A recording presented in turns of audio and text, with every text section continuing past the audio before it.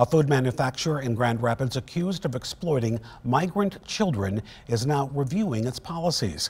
A New York Times investigation found companies across the country, including Hearthside Food Solutions, were violating child labor laws. 13 on your Carla Byron joining us now from the newsroom. And Carla, you've spoken to immigrant family advocates and a West Michigan congresswoman today. How did they all react to the findings of this investigation? Kirk, they all called it unacceptable and a clear abuse of power by these companies. The White House is even responding by creating a task force to ensure this exploitation never happens again. I will not stand by as this tragedy continues.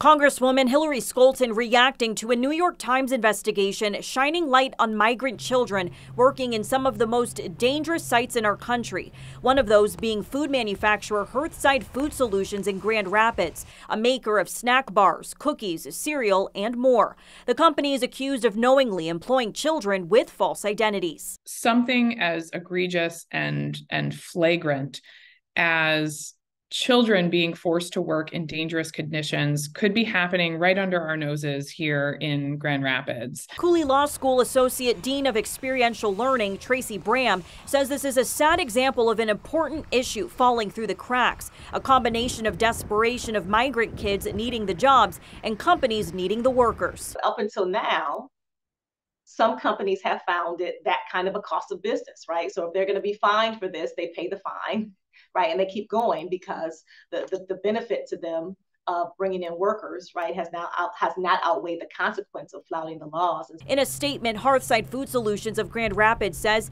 it takes the allegations seriously and have implemented next steps, including an independent third-party review of their employment practices and safety protocols. And I called the White House, HHS, and DOL. Scholten says the White House announced the formation of an interagency task force that will come up with solutions. Whether it's closer vetting of sponsors who take these migrant children on, whether it's increasing uh, capacity for agents who can specifically go out and target and identify children who are exploited in the workplace, Scholten adds she wants to make sure agencies like the Department of Labor and Health and Human Services have the resources they need to enforce the law, which may include increasing the civil penalties for violations. Kirk.